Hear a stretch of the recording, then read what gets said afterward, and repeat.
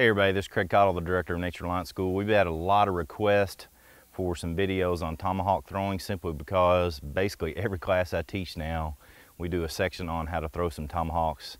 It's a lot of fun, so I'm gonna do that on video for you today. Glad you're with us.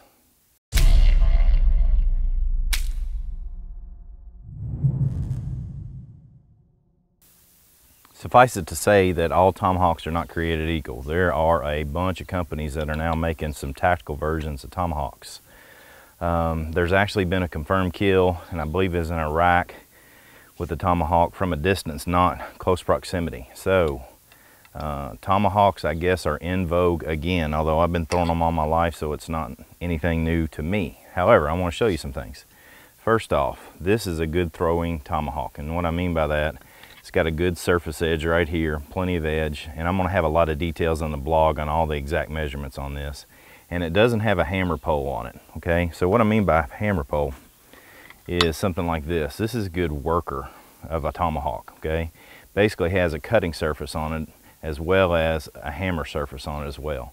not saying that you can't utilize this as a weapon. You can definitely hit somebody in the head with that or hit someone anywhere else with that and utilize that as a weapon. Matter of fact, it's documented in several diaries from frontier times. However, uh, that's not what the purposed design of that head is. This one is a bag axe, basically a small worker's axe. This is not a thrower, okay? One of the things you want to get when you get a throwing tomahawk is you want to make sure that the head slides up from the handle. Basically, this head slides down onto the handle, which is going to make it real easy for it to come off okay? Now with that said this is my useful tool that I can my large cutting tool I take with me on virtually everything that I go on. Hammer pole on one side cutting surface on the other side. Now when you get into throwing these things there's going to be a couple versions that I recommend you go for. This is basically a cold steel incredibly cheap and when I say cheap inexpensive uh, tomahawk thrower uh, I think they call it the Frontier Hawk or something of that nature. It's got a set screw that really doesn't do much of anything. Um, and then this one right here is made by Beaver Bill. Uh, Beaver Bill is one of the best in my opinion. I've got uh, at least five of his, I've got three of his throwers, a hammer pole, a bag axe, and then I bought my dad a small bag axe. Um, fantastic, fantastic uh, blacksmith. I highly recommend Bill for everything that he's done on, uh, he's made knives and hawks and all sort of other things. So check him out. I'll have a link for him down below. And what we're gonna look at is throwing these two, and I've got several of each, but basically what we're gonna do, I'm gonna show you how to set up a tree so that you can throw into it um, because it's easier to find a dead tree than it is to set a cross section up, which is probably the best surface to throw into. But not everybody has a chainsaw and you can you can easily get these Frontier Hawks on Amazon. Um, you can order these real easy like these cold steel hawks and then find a dead tree and you're good to go. I do not, do not recommend you throw into a green tree. Um, that's just bad mojo all the way around, so don't do that. A lot of people get aggravated at me that, ah, it's not gonna hurt the tree. Well, basically when you open the tree from the outside of the bark into the inner layers of the bark, you're opening a wound where infection in essence can get into that tree. So don't do that. Find a dead tree and uh, I'm gonna show you how to prep it up and get it ready to go. So got two dead trees here and basically what we've got going on is that this one has lost the bark in considerable amount of time ago and so me just standing here throwing these, or not throwing but uh, chunking these into the wood right here is a fairly easy thing in this close proximity. However, because the bark has been off this, this one's gotten incredibly hard. So if you're brand new to throwing tomahawks, this is gonna be pretty difficult. So what I like to do is find a dead tree that's still got some bark on it, like this guy. And then it's real easy to get the bark off. This actually is a good survival tree too. You can find a lot of grubs and stuff in this bark. So what's gonna happen is that this surface right here is going to be a lot softer. You can hear this right here. If I hit this several times, you can hear that it's dead because there's a lot of moisture still there. Whereas on this one, every single time, there is a lot of moisture there. Pardon that intrusion, I had to get the phone turned off. so you can hear when I hit this tree, it's not nearly as as uh, dry and hardened as when I hit this one. So in my opinion, choosing a tree like this, particularly for a beginner, is going to be a good choice. So if you get it prepped right, this is what's going to happen. It's going to stick rather easily. So first thing you need to make sure that you do is get proper distance between you and the target, the target being this tree. I recommend for those that are beginning to take five steps. And basically your intent is to get five steps that are three foot in length. So basically you're right around the 15 foot mark from your target. So if we do that, one, two, three, four, five. That's the spot I want to stand on. So I turn around, I'll talk about form in just a second, and throw.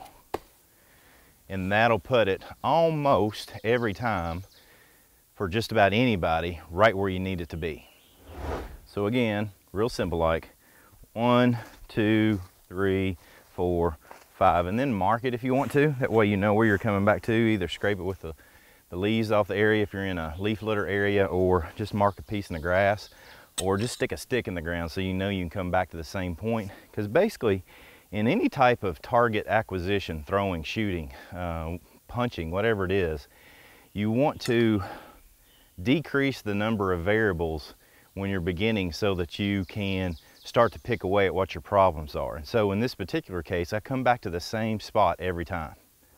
Now with that said, I also want to have the same exact grip on the, the tomahawk as well as the same form by which I utilize it. So the way I recommend uh, teaching beginners, and, and it seems to work real well, and I've taught everywhere from six-year-olds to six-year-olds how to throw tomahawks, is basically you imagine that this handle is somebody's hand and you want to come up and shake it, like shake their hand. So if I come up and do a handshake with you, it's real easy for you to grab the blade. You don't want to have this 90 degree grip to it, okay? That's a good fighting grip. This is what I would have for a fighting grip. However, for throwing, I'm gonna have this canted grip, just like I'm shaking a hand. So here's 90, and here's that canted grip. Basically what this is setting up is the opportunity for you to release it smoothly, and that release is very important. So I'll get profile to you a little bit closer now. Basically what I wanna do is that, and you'll have to find your own way, whether some people like to step back and step forward and throw. Personally, I just like to stand here and throw. Uh, you need to find what works for you and you'll find that distance as well. But here's the form. Once I grip my tomahawk as if I'm shaking hands with it, I'm gonna bring it up. Don't let it fall back. Don't let it fall behind you. You wanna bring it up above your head and when you release, you release straight out in front of you and a lot of times I tell people, and this seems to help, you wanna point at your target. And so as I release, I, I don't necessarily have to point at my target, but in my mind's eye, I point at my target.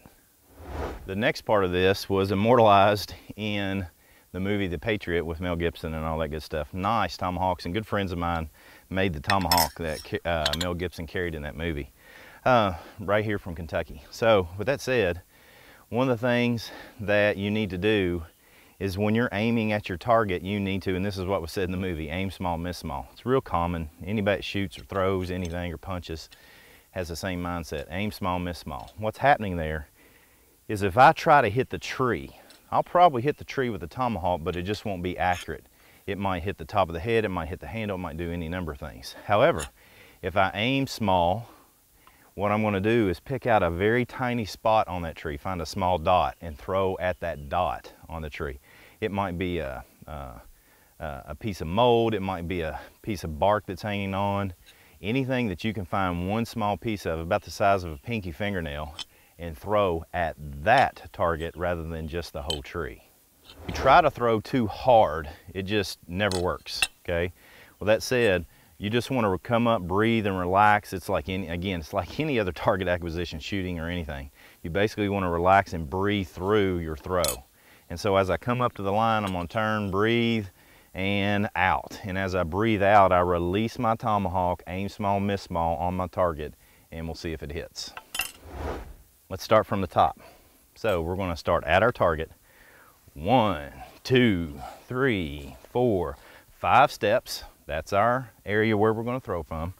I want a handshake with my tomahawk. How you doing? Nice to meet you. Turn to address my target. Find a spot where I can aim small, miss small, bring it above my head, and as a release, I'm gonna breathe out and point towards my target. Again, now this is where it gets fun if you're throwing with other people. If you're in competition, you'll bust each other's handles out and try to knock it out. Now with that said, what I'm gonna do is I'm gonna aim small, miss small, off to the right this time so I don't hit my own tomahawk.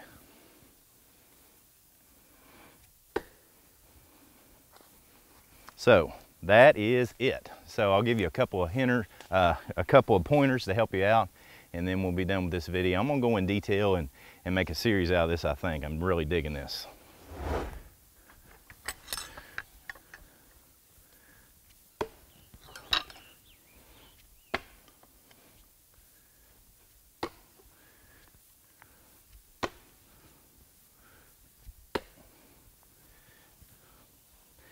So again, here's some pointers as you're doing this. And I know what you're thinking. That was the first take. I'm not lying. I'm, if I'm lying, I'm dying. First take. And, and I'm going to tell you right now, I don't do that every time. Um, but with that said, it's fairly simple to throw tomahawks. That's one of the reasons I'm getting all my students to do it in basically every class because it's fun. There's a lot of immediate feedback.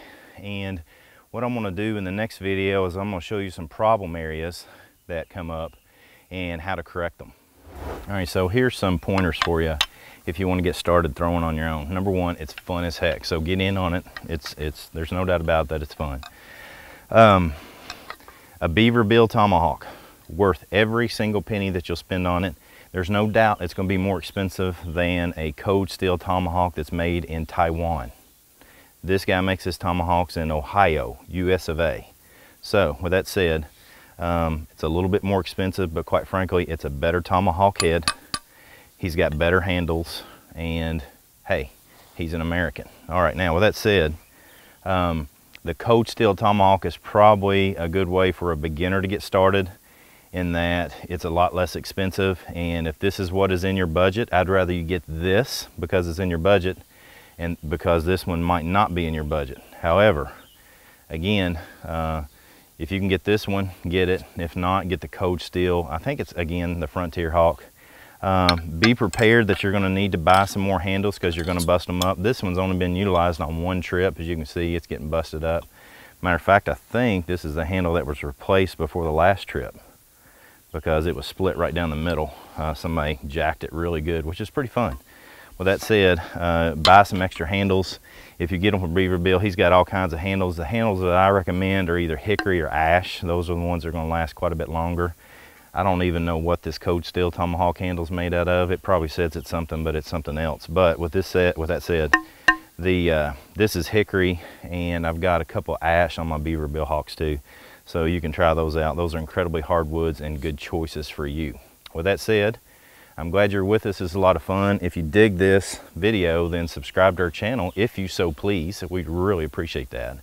Uh, give a thumbs up on the video. Share it as much as you like on Twitter, Reddit, Facebook, where it is that you do social media. Come on, join in. Let's learn together.